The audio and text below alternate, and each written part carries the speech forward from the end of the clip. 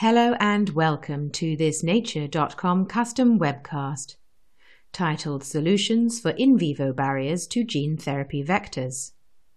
My name is Sarah Hiddleston and I will be your moderator. Today's webcast is sponsored by GenScript.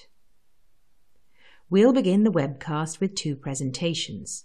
The first is from Dr. Casey McGuire, Associate Professor of Neurology at Harvard Medical School USA and our second presentation is from Dr. Kimberly Arnold, Senior Marketing Specialist, Molecular Biology Reagent Services at GenScript. We'll then move on to a question and answer session with the speakers. You can ask a question at any point you wish throughout the webcast. To do so, please type your question in where it says type your questions here, and then press submit, and we will answer them today. And now, over to Casey. Hello, uh, my name is Casey McGuire, and I'm going to be talking with you today about solutions for in vivo barriers to gene therapy vectors. First, I want to thank you for joining me today. I hope you learned something and that we can have a nice discussion at the end. Second, I really need to thank GenScript, the sponsor of this talk, for allowing me to speak with you today, and also Nature Research Custom Media for putting this webinar together the purpose of this talk is really to educate people around some of the uh, issues with gene delivery with AAV vectors. And I'm going to cover a lot of work that we've done in our lab, but also a ton of pioneering work done by a lot of other groups. By no means will this be able to be comprehensive and cover everybody who's contributed to the field in, in important ways. Um, there's no way I'll be able to give all these pioneers the, the credit they deserve um, but I'll do my best. Before we begin, I need to list my disclosures, which are shown on the slide. In the interest of time, I won't go through each of them, but the slides will be available for anybody who wants to look through. For those of you who are new to gene therapy, I want to give a little intro slide to kind of some of the basic concepts of gene therapy. So the goal of gene therapy is to correct a disease by addition of a normal copy of a gene to compensate for a non-functional or absence of gene product. This is typically used for recessive mutations. It's the most commonly used gene type of gene therapy. And it's also the one that's advanced the most into the clinic as far as AAV vectors go. Second is editing or deleting a mutated gene in the con- in the case of a dominant mutation, or can even be a recessive mutation. This is using the very popular gene editing technologies such as CRISPR. You can also alt- alter um, expression levels of gene products, such as mRNA, um, using siRNA or microRNA technology. Finally, you can add exogenous genes. This can be used for example, cancer gene therapy with a bacterial toxin which can kill tumor cells. I also want to give a historical timeline of gene therapy, really to show just how far the field has come and really how long it's been around. I think a lot of folks think of gene therapy being around maybe since the 1990s or the 80s, but really it started as early as 1960. This slide really can't encompass all the exciting findings in gene therapy, so it's not meant to be comprehensive. However, um, I tried to cover some important areas, and it is biased to AAV uh, gene therapy as this is the topic of, of this presentation. So in the early 1960s, scientists doing basic virological research were beginning to understand how viruses could genetically modify host cells. Also, AAV was actually discovered as a contaminant in adenovirus preps um, during this time, just by accident. In the early 1970s, Friedman and Roblin conceptualized gene therapy as a way to treat human disease. In the early 80s, the first retroviral vectors were engineered. AAV genome was cloned into a plasmid by Jude Samolsky and Nick Laziska's lab in 1982, kicking off that vector. The first ex vivo gene therapy trial in humans was done in 1990 with a retrovirus vector. First AAV in vivo gene therapy trial for cystic fibrosis was done in 1995. The field wasn't without its share of challenging times. In the 1990s, late 1990s, early 2000s, there was a couple of serious adverse events. The first was with adenovirus, which led to the death of a patient in a clinical trial for OTC deficiency, really to an inflammatory response to the virus. In 2000, the successful treatment of X-linked SCID using a retrovirus was reported. Unfortunately, a couple years later, four children in this trial developed leukemia, which was later determined to be due to insertional oncogenesis caused by the retrovirus factor. Luckily, uh, most of those patients were successfully treated for their leukemia with chemotherapy, and they are also cured of their uh, X-linked SCID by the by the gene therapy. Luckily, gene therapists are a very persistent bunch, and they weren't dissuaded by these challenging times. They went back, designed more safe protocols and better vectors, and in the mid to late 2000s, really started to see some clinical efficacy with AAV. For example, AAV2 injected subretinally was used to treat blindness caused by mutation RP65. I also saw clinical efficacy in trials of hemophilia with an AAV encoding factor 9. There's other several examples of efficacy in clinical trials, including hemophilia A recently.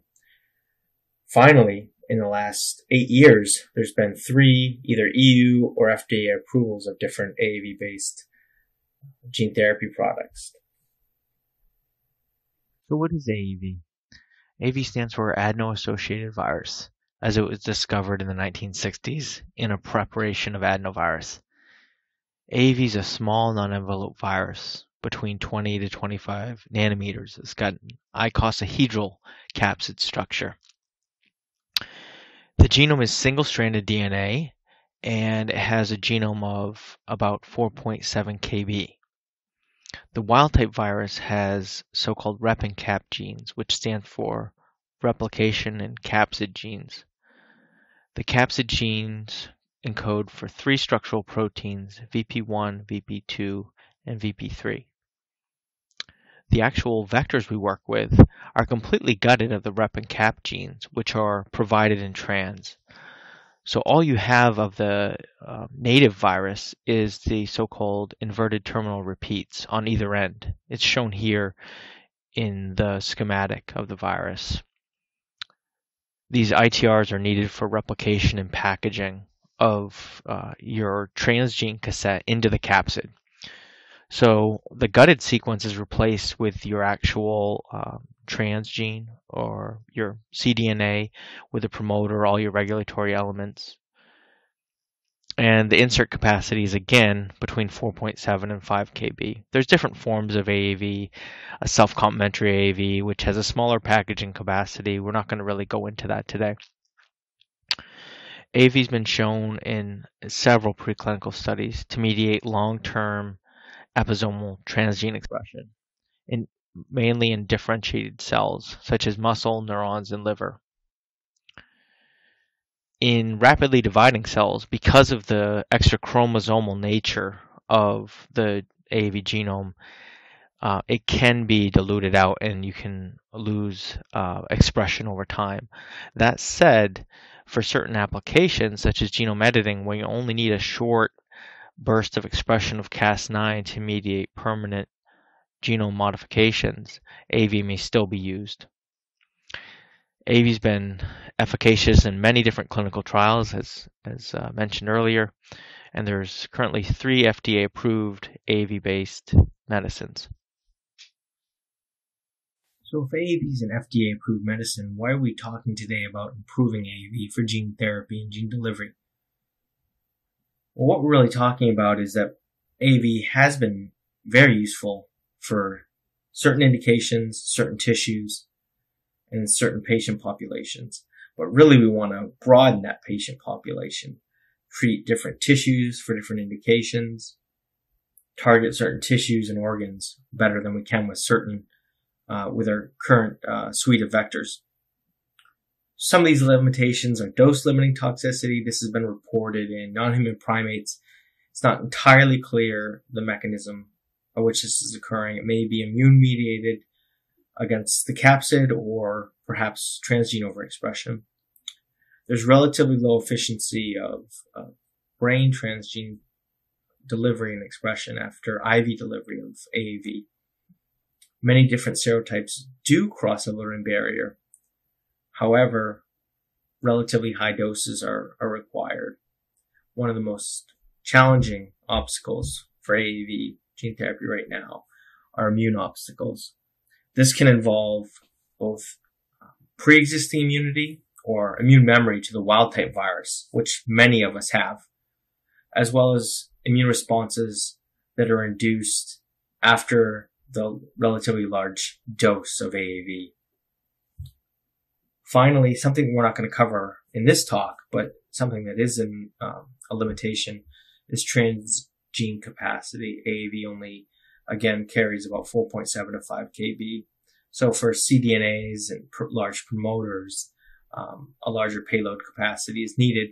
And there are strategies that are currently addressing this. Some of the strategies I'm going to be talking about later, showing some data from our lab, involve uh, evasion of the immune response. I'm going to cover this limitation of AAV in a little more detail on this slide. So basically, there's two forms of immunity to AAV. First is immunity to the wild type virus, which many of us are exposed to. That's called pre-existing immunity. And there's also immunity that can come after you're actually injected with the with an AAV vector for therapy. So you can see exposure to to wild type AAV early in life can induce both capsid specific T cells. These can be CD4 helper cells and CD8 cytotoxic T lymphocytes. You also induce a B cell response, which results into a robust production of anti-AAV antibodies. These tend to decrease over time, so they're not extremely high generally when later in life when you're treated with AAV. However, the titers can vary a lot. So upon vector delivery, the capsid has to first um, is first challenged with those antibodies in the humoral response. If the titer of antibody, the concentration is too high, the vector will be neutralized and it can't deliver its transgene. Finally, a couple or next couple weeks later, after the vector is transduced and there's antigen presentation of the capsid, the cytotoxic T cells can come in and eliminate the capsid in the genome and kill the cell. So you lose expression of your transgene. That happens in some patients, been seen in the clinic. There's been strategies using high dose steroids that have helped to mitigate that response, but it's still a challenge. If you bypass, if you're able to bypass that, you can even have an immune response to your actual transgene product, the protein, if, if it's recognized as non-self. If you bypass all these things, um, you can lead to long-term transgene expression. Another area of improvement for AAV-mediated gene delivery is crossing the blood-brain barrier and delivering to the CNS. So historically, and it's still done for some indications, um, AAV was used just to bypass the blood-brain barrier. You could directly stereotactically inject it into the brain. Now, this has some um, obvious benefits. Um, a lot of the systemic immune system is not exposed to the virus, so you have a lower immune response. However, kind of the con to this is that there's lower spread of the virus after direct injection or even into the ventricles. So depending on your your disease uh, in the in the brain, whether you need to hit a larger uh, number of cells, this may not be sufficient. So in the late 2000s, it was discovered that AAV9 could cross the blood-brain barrier. This was a huge advancement for the field. Um, now, the, the, the pros are obviously that you can treat a broader number of cells in the brain. However, you expose the rest of the body to the virus, and this could lead to, you know, off-target toxicities, whether that's immune response or the transgene, because it requires pretty high doses you know, over 10 to the 14 genome copies per kg to get reasonable transduction. So if we can use viruses that are more efficient, they give you um, higher number of percentage of cells that are transduced, and at a lower dose, you may be able to avoid some of these systemic toxicities. So now we've covered really why we need to make better AAVs. We get to the fun part of the talk where we discuss about strategies to make better vectors.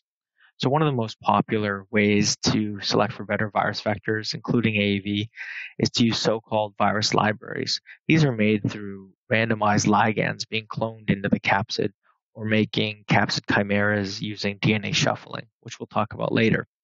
So use high efficiency cloning techniques to make diverse libraries that can range from 10 to the 7th, 10 to the 10th independent clones of a virus.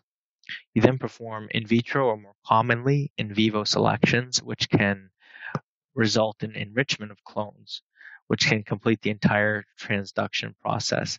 You're really doing survival of the fittest here um, with your selection. Um, and it's really a black box approach. You don't understand the mechanism of transduction, but you can you're really selecting for a phenotype. This is shown in the schematic here, where you ha- in round one you have a mixture of different capsids uh, represented by different colors and they have different properties. And as you perform subsequent rounds and reproduction of the virus, you can see that the green clone is most efficient at whatever your particular phenotype is. In this case, maybe it would be gene delivery to the brain. Inspired by bacteriophage libraries, folks started using peptide display libraries on AAV for the last couple decades. In this strategy, you basically have a library of random peptide inserts, usually about 7 to 9 amino acids, and these are cloned into an exposed loop region on the VP3 uh, protein, which is on the capsid surface. You basically clone this in usually between amino acids 588 and 589. Depending on the serotype, it might be 587. And this is on an exposed region of the capsid at the threefold axis of symmetry, which you can see on this model are the little three blue dots. So it's exposed in these trimers on the capsid surface. And then there can be as many as 50 copies on VP3 expressed. Another popular strategy to make AAV libraries is through so-called DNA shuffling. Directed molecular evolution using DNA shuffling has been used for decades in other molecular biology fields to improve enzymes and antibodies, and it's been used um, for AAV for the past at least 10 years. So basically, in this in this concept, you're basically taking the whole capsid gene that's shown on the left of the slide with the different colors uh, from different serotypes or different variants of AAV.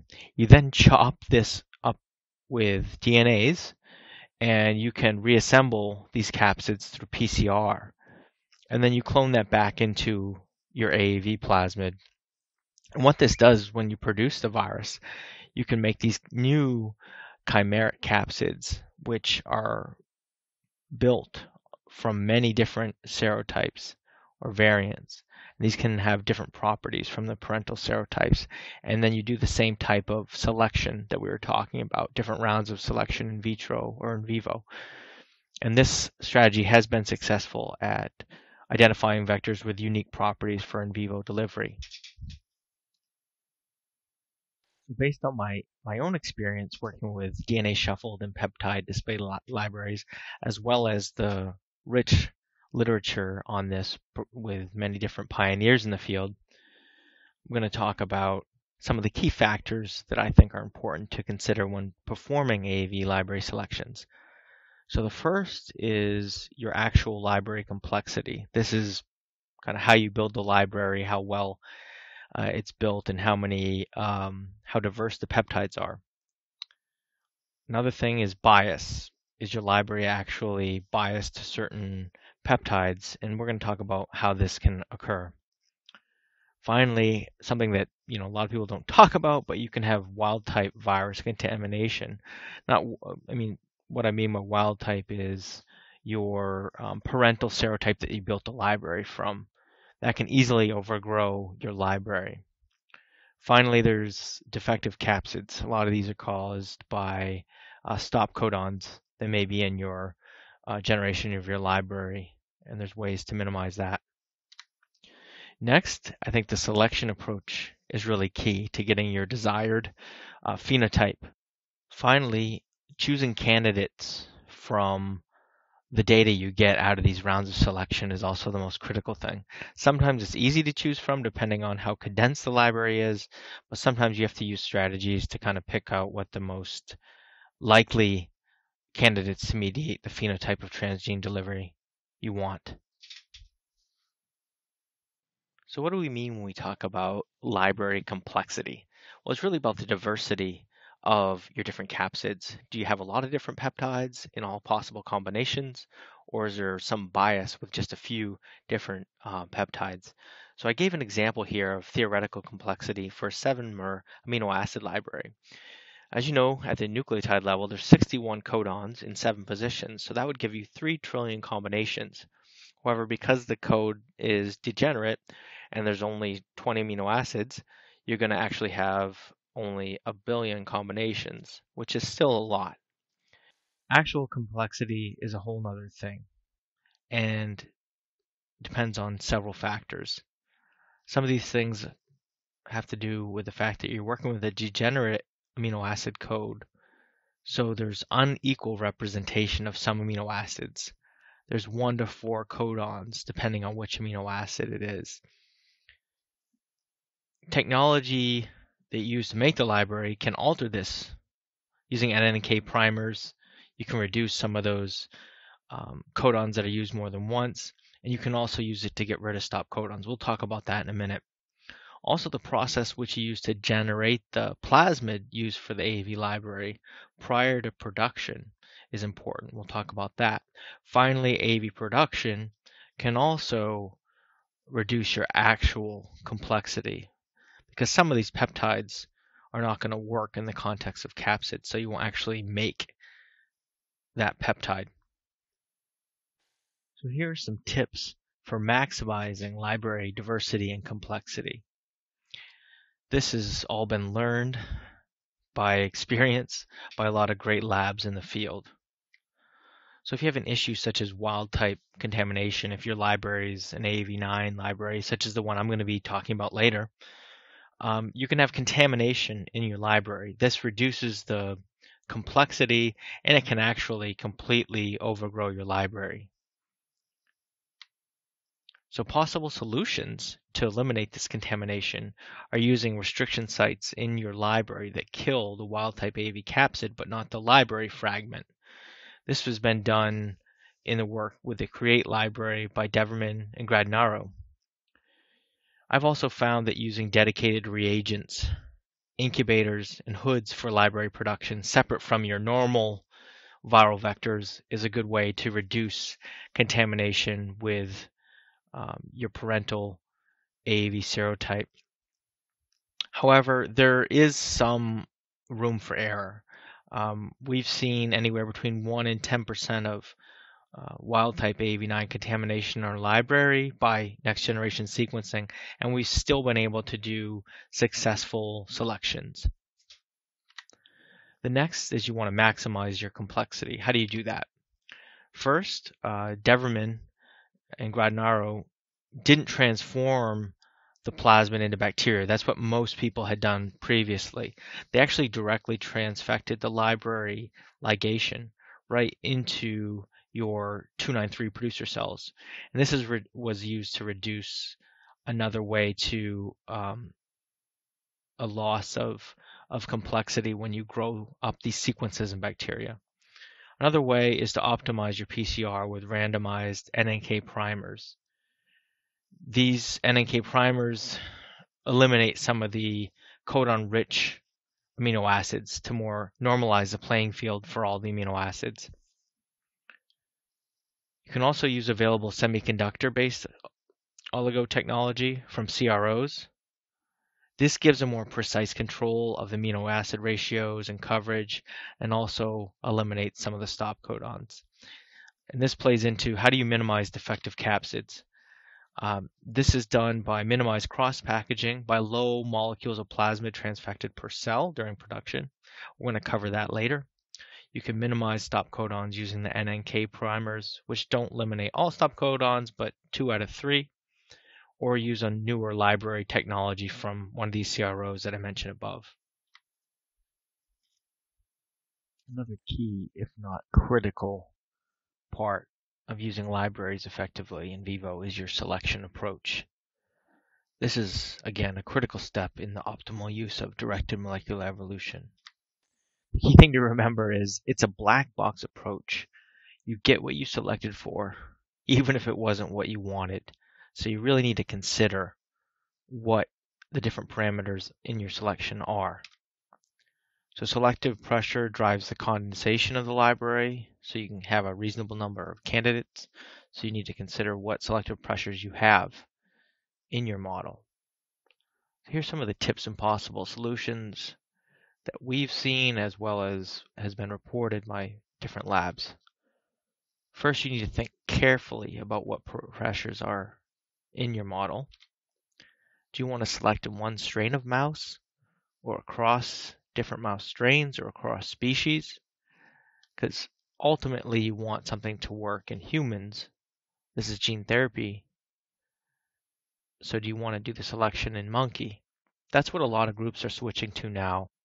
As some of the earlier work has shown that just selecting in mice can give a vector that works really well in that particular strain of mouse, but it doesn't really translate to larger species such as non-human primates and probably won't to human.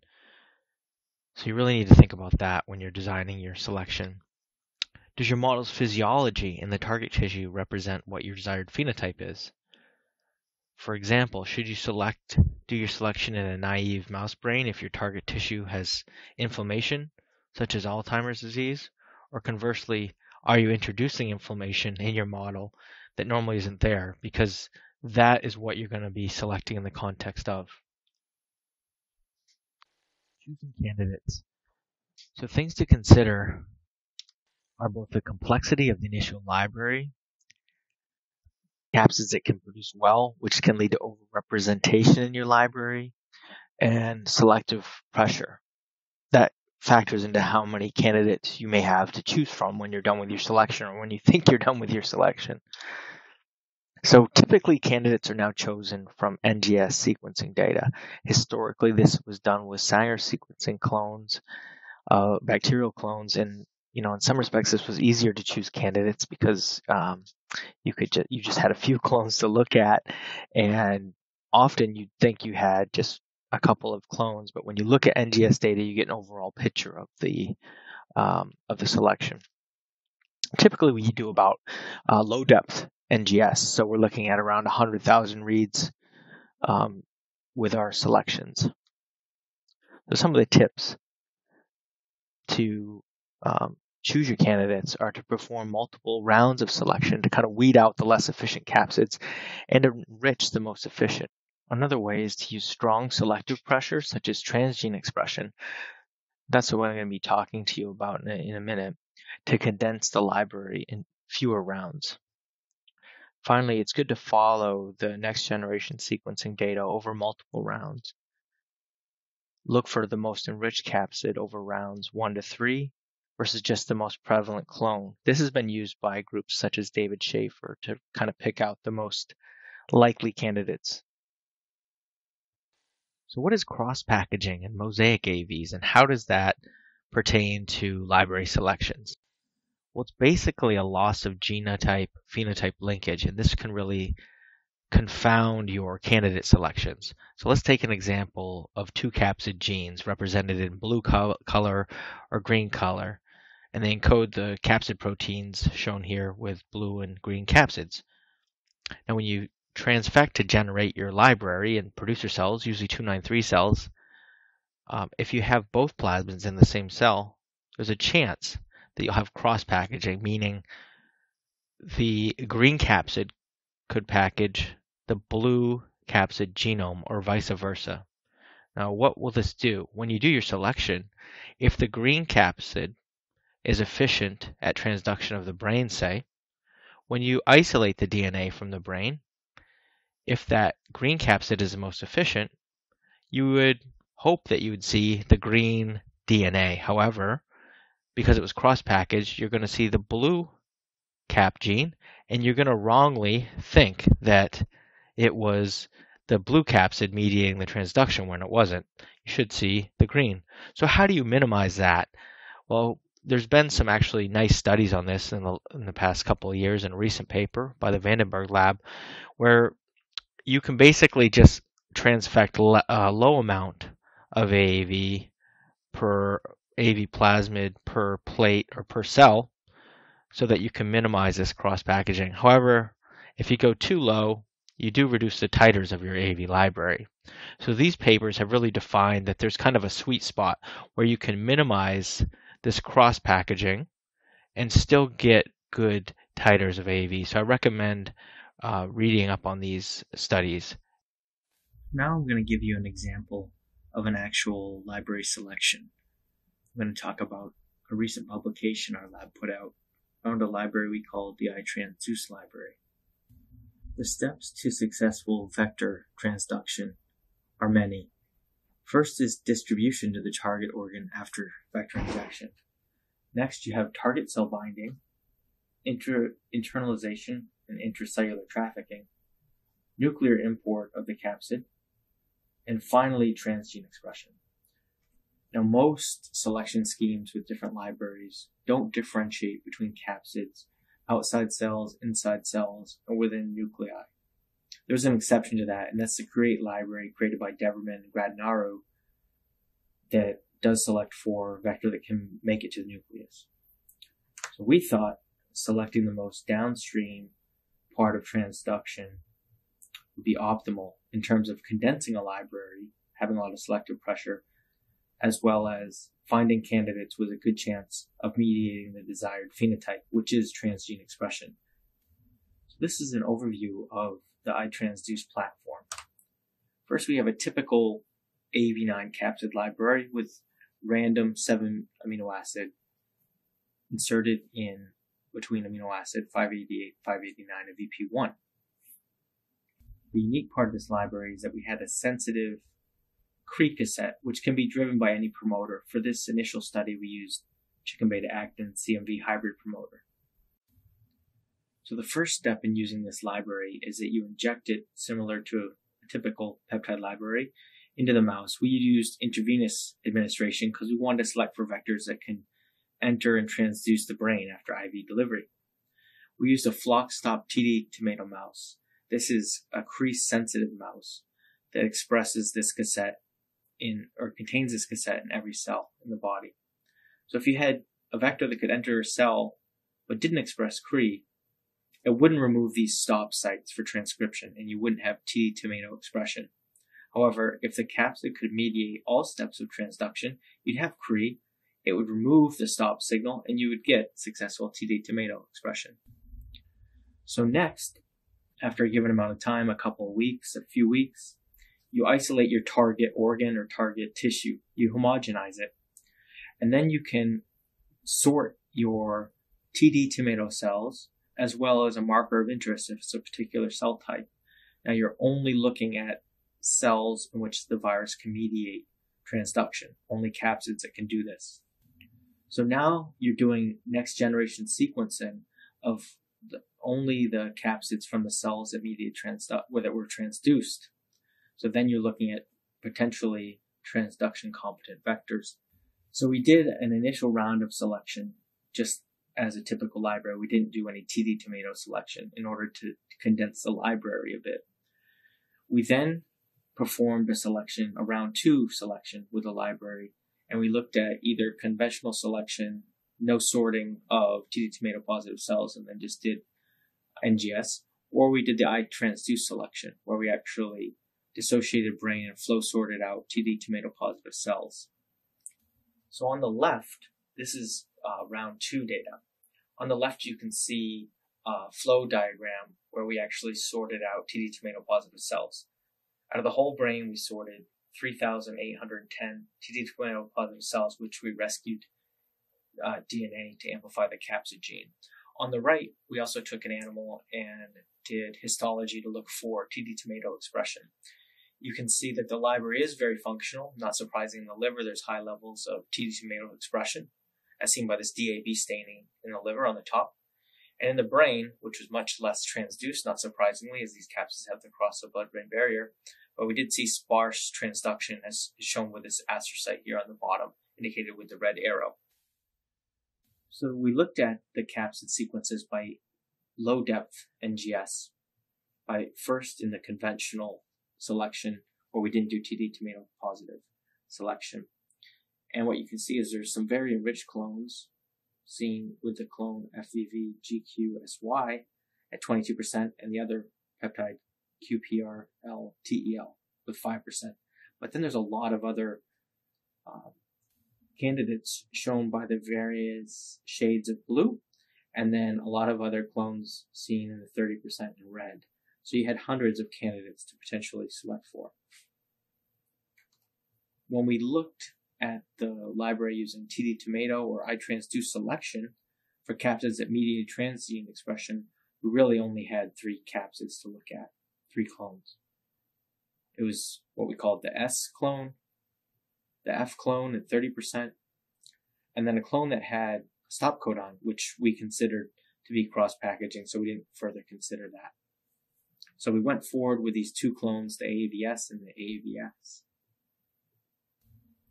We then took these candidates, AVS and AVS, and we used a conventional reporter, tra- a transgene expression cassette, CBA, driving GFP, to look at whether they mediated good transduction of the brain after IV delivery. We compared them, AVS and AVS, to AV9, the parental capsid used to make the library, and PHPB, the capsid that was derived from the CREATE library by Deverman and Gradnaro and shown to mediate very efficient transduction of the CNS in, in black 6 mice. We then produced these as conventional capsids and packaged them purified them with idexinol gradients. And we looked at production efficiency, genome copies per cell. And all capsids produced quite well, slightly lower than AAV9. We next the four vectors for GFP expression in the brain after IV delivery via tail vein injection. Three weeks after injection, we sacrificed the mice and looked at GFP in the brain. As you can see for AAV9, you saw some expression with GFP. This is native endogenous GFP expression. With PHPB, you see very robust expression throughout the brain as reported by Deverman and others. AAVS seemed similar to AAV9, while AAVF gave really robust expression across the entire brain. These are higher magnification images across many different brain regions, and as you can see, both with AAV PHPB and AAVF, we saw broad transduction across all areas of the brain. We also looked at um, what cell types are being transduced with AAVF and S, and primarily it was neurons and astrocytes. Both vectors transduced uh, these two cell types, just that AVF was much more efficient than AVS. We quantitated, stereologically quantitated and counted the percentage of cells that were transduced. AVF had a, a slightly higher uh, tropism to astrocytes than PHPB, and it was reversed for neurons. PHPB had a slightly higher tropism for neurons than, than AAVF. To get a better understanding on whether AAVF had a similar mechanism of transduction to PHPB, we tested transduction after intravenous injection in BALB/c mice, as PHPB is known uh, not to transduce this strain well. Interestingly, we found that AAVF transduced the BALB/c brain as well as it did the Black 6 brain, indicating the mechanism of transduction between these two capsids is likely different. So to conclude these results from the iTransduce library, we found that using this uh, transgene-based expression allowed rapid condensation of the library after just two rounds of selection. One out of two of the tested clones mediated the desired phenotype, which was robust and efficient transduction of the CNS after IV delivery. We are currently testing AAVF in non-human primates with the caveat that not all um, studies in mice can translate into, you know, monkeys or humans, depending on what you know, receptor was targeted, whether it's conserved between species. So we may need to do direct selections across species, transgenic mice and rats, to achieve translation to humans. We're currently looking into this. We're now going to move to a completely different strategy that my lab's worked on for about the last 12 years, the use of extracellular vesicles to enhance gene transfer with AAV vectors. So what are extracellular vesicles? This slide shows there's different types of, of extracellular vesicles or EVs. So in the center you see a cell with the nucleus shown, and you can have different types of EVs. One is called exosomes, which you may have heard of. Those are very rather small vesicles, 30 to 100 nanometers, that result from intraluminal budding of multivesicular bodies. Microvesicles tend to be a bit larger, 100 to 1000 nanometers, and they are usually coming from budding directly off the plasma membrane. Apoptotic bodies are very big, 1 to 5 microns. Um, again, they, they happen during cellular apoptosis. We're mainly going to be focusing on microvesicles and exosomes, although the field is still developing and some of these populations um, overlap in a lot of their features. This slide is meant to demonstrate how extracellular vesicles are natural transporters of proteins and nucleic acid between donor and recipient cells. And in the recipient cell, they can be taken up through multiple mechanisms, such as receptor mediated endocytosis and macropinocytosis. And many of these mechanisms are also used by viruses. So, over the past several years, there's been a broadening literature that's really blurring the distinction between enveloped and non-enveloped virus. Several studies demonstrate viruses use extracellular vesicles to enhance infectivity and immune evasion. This has been shown for viruses such as hepatitis A, as well as rotaviruses and noroviruses, and even polioviruses. In 2012, we published our finding uh, of the discovery that AAV vectors, which is a non-envelope virus I mentioned earlier, can associate with extracellular vesicles and be found in the media in that in that state. Um, a lot of the vector still is non-envelope, but some is in these extracellular vesicles. We initially started our study looking at the larger vesicles, the microvesicles, but we've since looked at um, smaller exosome-like vesicles as well. Shown here is a cryo EM image where you can see the lipid bilayer of the extracellular vesicle as well as several AV capsids inside. At least six or seven capsids can be seen inside the vesicle.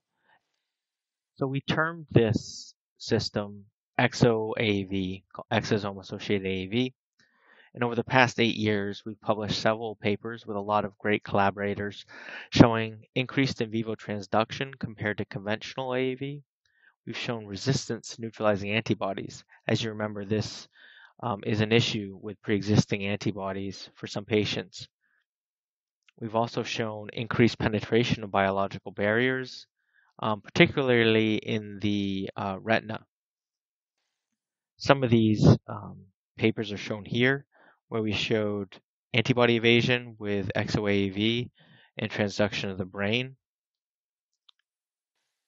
enhanced transduction of the retina after intravitreal injection, and enhanced transduction of the liver and expression of factor IX in a model of hemophilia with ExoAAV8, and finally, enhanced transduction of the inner ear using exosome-associated AAV.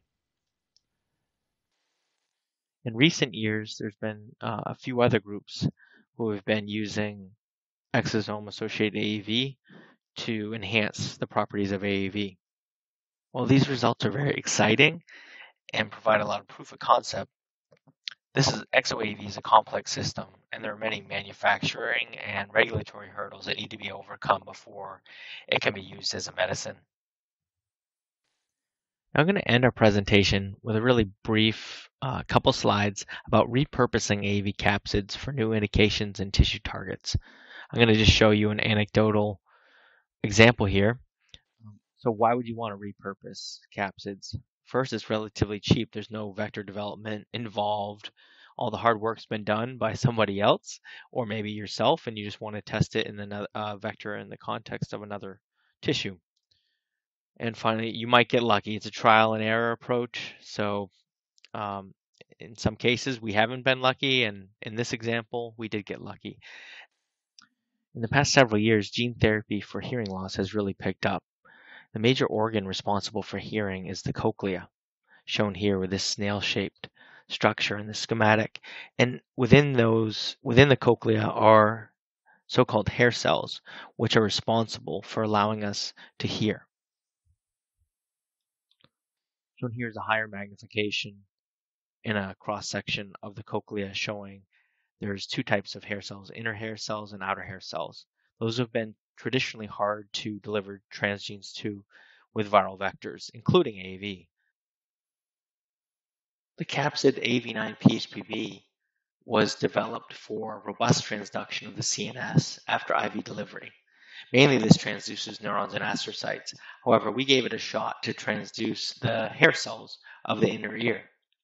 It's going to briefly cover the results of two recent publications where we've used AAV9 PHPB to transduce these hair cells in both mice and in non-human primates.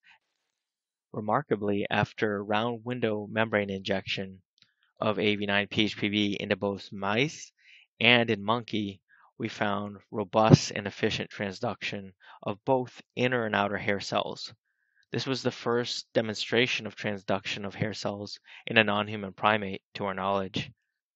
So while unexpected, the ability of AAV9-PHPV to translate efficient hair cell transduction from mice to non-human primates does show that while unexpected, using repurposed capsids for new indications can pay off. Finally, I'd like to acknowledge all the great people, scientists, and collaborators I've had the pleasure of working with over the years to accomplish our research goals. I'd also like to thank the NIH for providing uh, funding for the work in the inner ear and with the XOAV platform. I'd also like to thank GenScript for really providing stellar services for a lot of our um, cDNA synthesis for a lot of our AAV plasmids. And finally, um, I'd like to thank you, the audience, for your attention for, uh, during my talk. And I really look forward to having a lively discussion. Thank you very much. Thank you, Casey, for sharing your exciting research with everyone. My name is Dr. Kimberly Arnold, and I am the Product Manager for Molecular Biology Services at GenScript. Before we proceed to our Q&A portion, I would like to share some information with you about GenScript. We are a premier contract research organization, and with the goal of making research easy, we strive to remain a reliable research partner for scientists across the globe with currently over 110,000 customers in over 160 countries. We take pride in being the number one gene synthesis provider in the world. However, we not only make DNA, we also do a whole lot more. We have comprehensive portfolios focused on protein services, antibody production, NGS panels, and peptide services, as well as offering a number of catalog products and services focused on the development of biologics. We also provide solutions to support gene therapy research, including gene synthesis, mutant libraries, and genome editing services. We have over 17 years of experience synthesizing genes and to date have completed over 600,000 gene synthesis projects we are able to quickly synthesize any gene of any length and clone into the vector you desire. Additionally, we offer a variety of mutant library services, and powered by our semiconductor-based DNA synthesis technology, we can precisely construct mutant libraries with superior diversity and complete coverage to optimize your proteins or viral vectors. Finally, we offer comprehensive CRISPR solutions to support gene and cell therapy research, including CRISPR guide RNA libraries, our new Safe Edit single guided RNA, ensuring minimal cytotoxicity and off target effects for primary cells and stem cells, and high fidelity, high purity DNA templates like long single stranded DNA or double stranded DNA for maximizing CRISPR knock in efficiency and accuracy. For more information, please visit our website at www.genscript.com.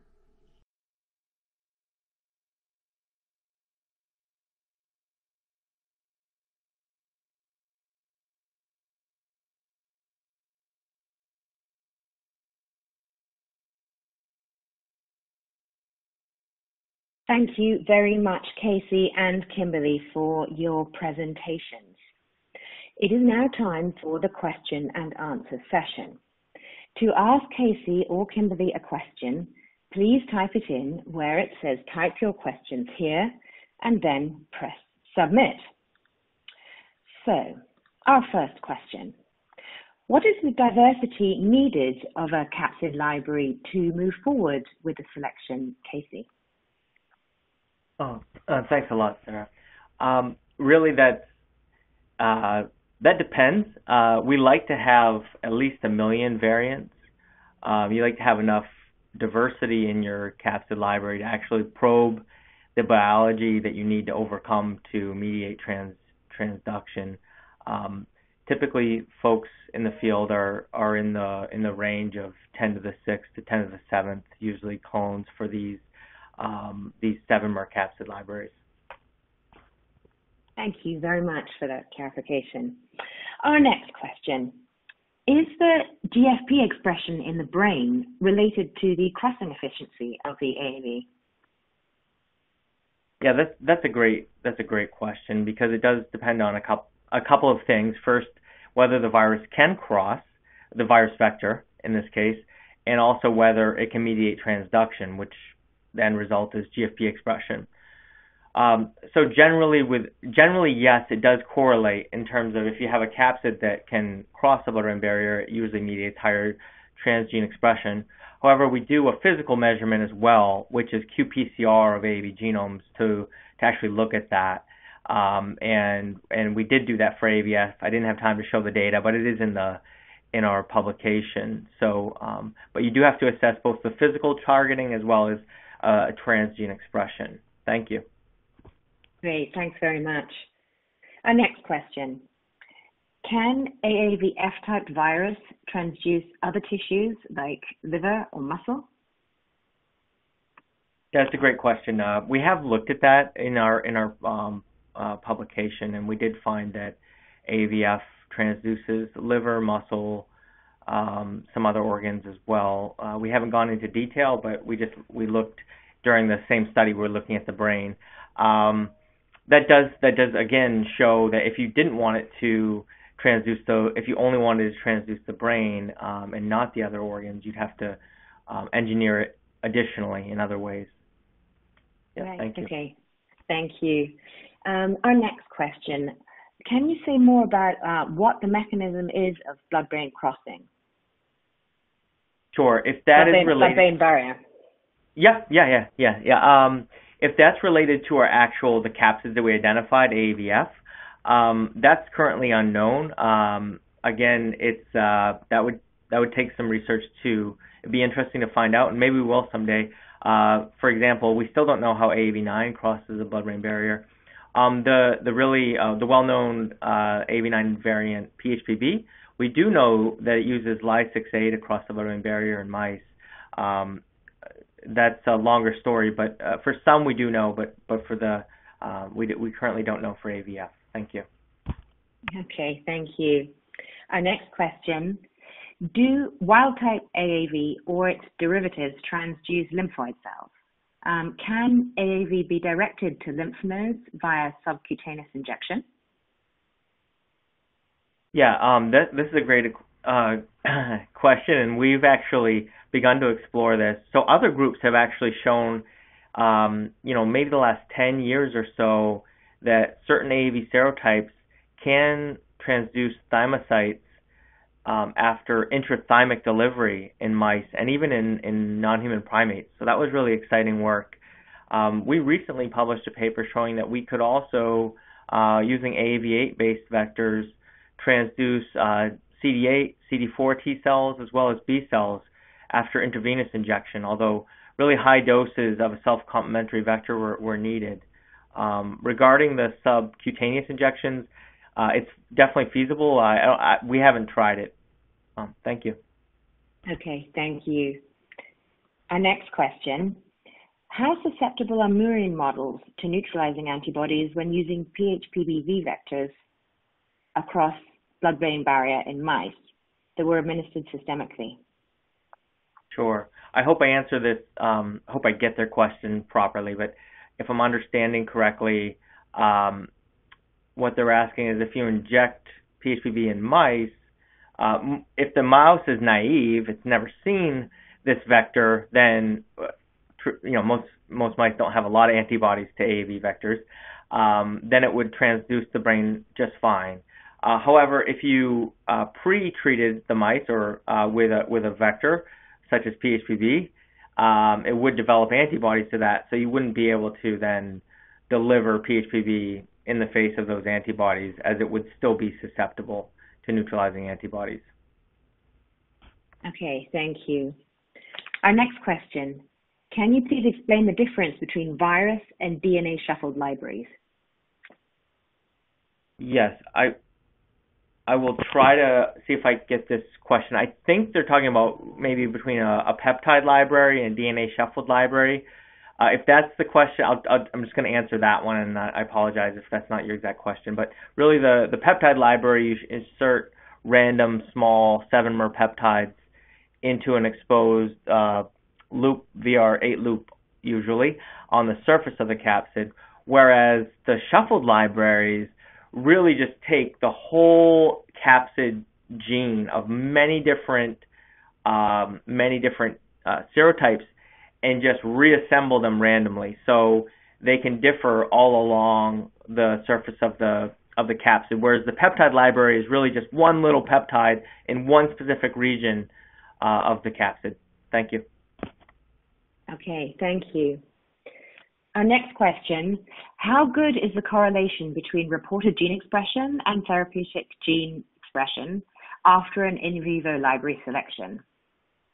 Yeah, that's a great question. Um, and yeah, you also, you know, sometimes we rely on our reporter genes too much. I agree, and uh, uh, you do have to be careful with that, and, and you have to you have to you have to study it. But I'd say, in general, we've done some preliminary work with that capsid AAVF using another transgene, uh, actually therapeutic transgene, and we have seen good correlation with our uh, with our GFP data. But I think um, depending on the localization of that transgene, whether it can be toxic, um, that that you do need to do those studies and, and take um, you know realize that is a caveat. Thank you. Thank you. Uh, next question: How to prevent? How do you prevent the cross packaging during uh, library generation? Yep, that's a great question. Uh, typically, that's done by um, limiting the amount of plasmid DNA you put per cell. So if you you basically can only have a small number of AAV library plasmids per 293 cell, there's less chance of having two viruses competing for uh, what uh, virus genomes going into which capsid in that cell. So typically diluting down the library is how, how that's done. Thank okay, you. Thank you. Uh, our next question asks whether or not you lose tropism by enveloping in an exome. Yeah, that's a great complex question, something we're still trying to understand. Um, I would say this um, based on our studies, both with uh, looking at biodistribution of just exosomes, uh, we see they go to many areas of that AAV also goes to, um, and and what we're seeing is uh, it's well known that the first step of uh, of entry, you know, is is cell surface binding, but you know, there's many steps of transduction and tropism by AAV vectors. Um, a lot of that is post entry, and we believe that um, that post entry, the the AAV capsid is doing the most of the work there. So I think that there will be some tropism that still um, is due to the capsid, but we still have to um, we still have to do those experiments. We're still working on that. Thank you. Thank you very much, and that is where we need to finish for today. Uh, we're aware that there are a number of questions that we didn't manage to get to, and we will get back to you offline after this broadcast finishes using the details that you've provided. I'd like to thank Dr. Casey McGuire and Dr. Kimberly Arnold once again for their presentations and for answering your questions. I would also like to thank the webcast sponsor, GenScript, and of course you, the audience, for taking the time to be with us today. Remember, you can watch this webcast again at any time on demand at nature.com forward slash webcast. Thanks for watching, and I hope you'll join us again soon.